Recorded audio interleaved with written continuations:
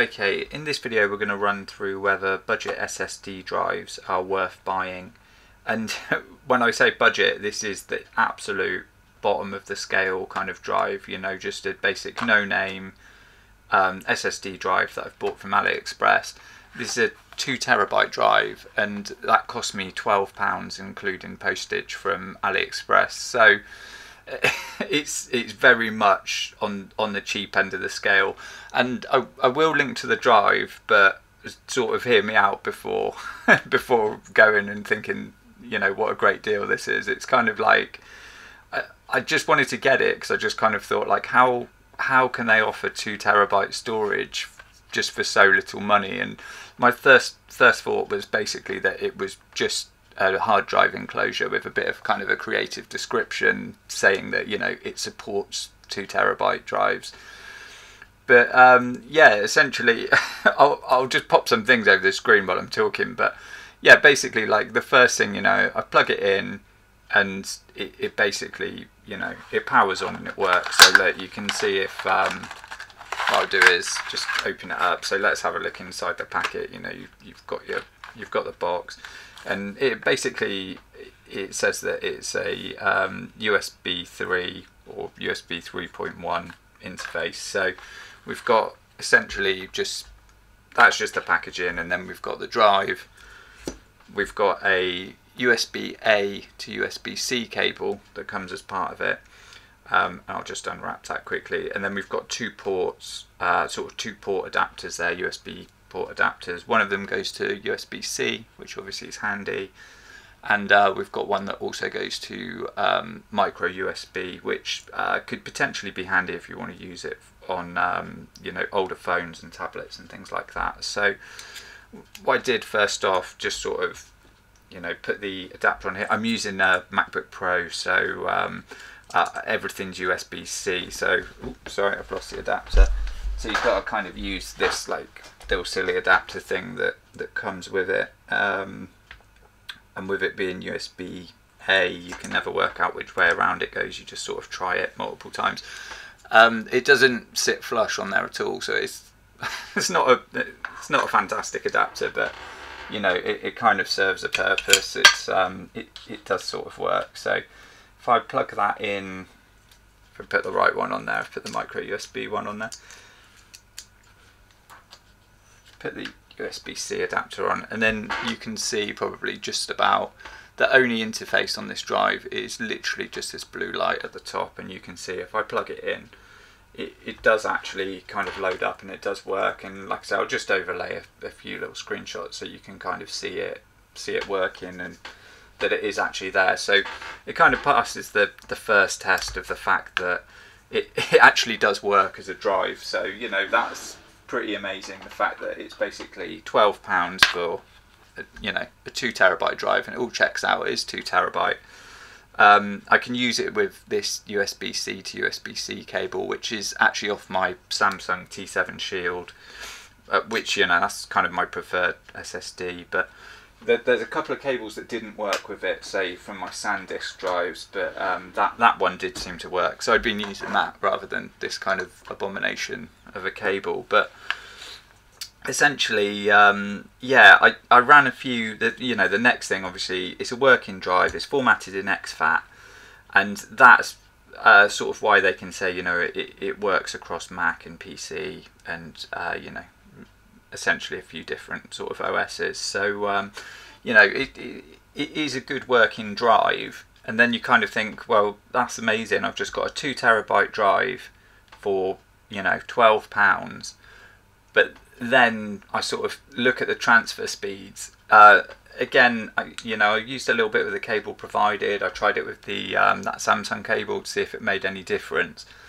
Um, again, I'll flip this up on the screen so you can take a quick look. But using the um, using the cable that kind of came with it, I, I just transferred a file that was more or less a gig, just over a gig. Uh, this is one file, not a folder full of multiple files, just one file, one video file. And that took 1 minute and 21 seconds for it to move over. And that was more or less within a second the same for both cables. So the cable made no difference. The bottleneck really was on the drive end. And uh, I, I also ran it in um, the the Blackmagic video testing tool or the Drive testing tool, which you know you might not be interested in because you might not be storing video or anything. You know, trying to record video to it. But I just thought I'd give it a try and see how it comes off. And it, it wasn't the best. You know, it, I think it just about reached up to about HD video. So the the speeds in this are very very slow. It's um, I, I would say you know they're they're advertising this as a USB three, uh, you know, 3.0, 3.1.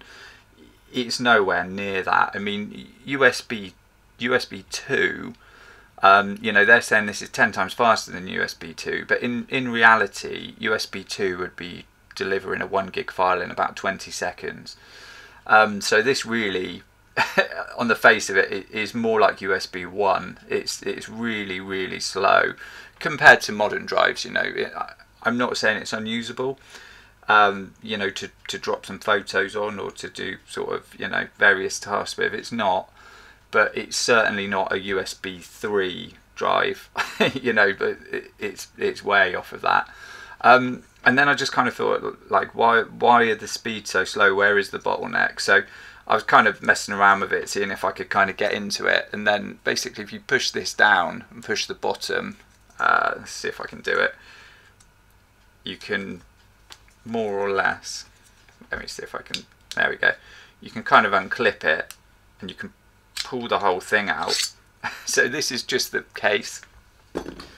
And then the inside bit is essentially just a circuit board. I'll see if I can focus on this at all so you can actually take a look at it. Um, uh, just keep missing focus. There we go. Um, it's basically a circuit board, and this bit here you can probably just about see. it's basically just a micro SD card. So it's a two terabyte micro SD card that's just been slotted into here, glued in, and then stuck onto a USB-C interface. Um, so yeah, that that is essentially the whole drive. It's just a, a micro SD card. Um, so yeah, I mean, it's a it's a bit of a funny one really because, I mean, with with that you sort of think, well, if I'm going to do that, then you could just use something like a um, micro SD reader, and I mean that's you know that's just a Lexar USB-C, uh, sorry, Alexa micro SD reader, and you know size-wise it's absolutely tiny compared to this drive, but uh, I think part of the kind of idea of this drive is they sort of um, th- there's a couple of little misrepresentations there in the you know the, I think the first sort of mistruth in there is the fact that it's USB C three, which I, I, honestly just don't think it is. Um, and then the, the, the, next one, I mean, certainly not transfer speed wise. And then the next sort of mistruth is the um, it, it's not really a mistruth, but it, it sort of leads you to believe it's something it's not. It, it kind of leads you to believe where they say M2, you sort of think, oh, okay, M2, that's sort of um, usually used for NVMe drives. You know, the M2 really just sort of is, is more the, the shape of the drive, which, you know, it does look like it, it could fit an NVMe module in there, but in reality, it's just a tiny micro SD card. So it's a, a little bit of, uh, you know, it's sort of alluding to something it's kind of not. And you know, they can claim that it's an SSD. You know, it's, it's a micro SD card.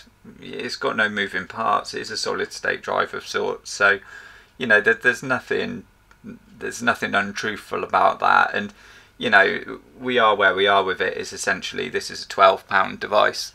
it's you know you, you can't expect the earth. I mean, part of why I got it was because you know an NVMe um, two terabyte drive, you're looking at about, um, I mean, I'd probably say about sixty pounds for a half decent one, you know, and that's without the interface to actually connect it to a computer. So you know the the fact that this even exists is um, is something really. I mean the um, you really probably the the equivalent. I mean, I would say you know a micro SD card.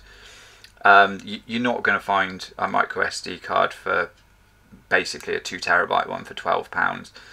Um, and even if you did have one, then you'd need to buy. Um, I mean, most of them come with those sort of SD card enclosures, but even then, you'd need a laptop or a PC that sort of has th- that SD card slot. Um, so you'd need to buy some kind of interface for the PC or for the Mac with it. Um, so yeah, really, you know, you couldn't. I don't think you could get a even like a you know a no name uh, off brand kind of card. I think you'd struggle to find a two terabyte one for um, for that kind of money. So I think that kind of the, closest equivalent, I think, really is probably you know if you get something like this. Uh, not necessarily this one. This is a SanDisk uh, one. You know, it goes um, USB C and USB A.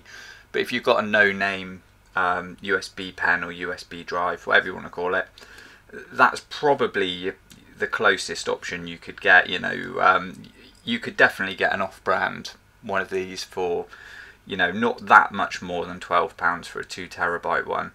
I mean, you're not you're not really. I mean, neither of these things are going to be super reliable because they're they're as cheap as you can get for storage. You know, so it's um, it's one of those things where uh, you you sort of anything that's on there you probably want to back up twice or um, you know just back up things that aren't overly important to you. But um, yeah, essentially, you know, you look at it size wise, it's it's probably better to just have the USB the USB pen, you know, because it's it's tiny compared to it, and it's got the interface already built into it.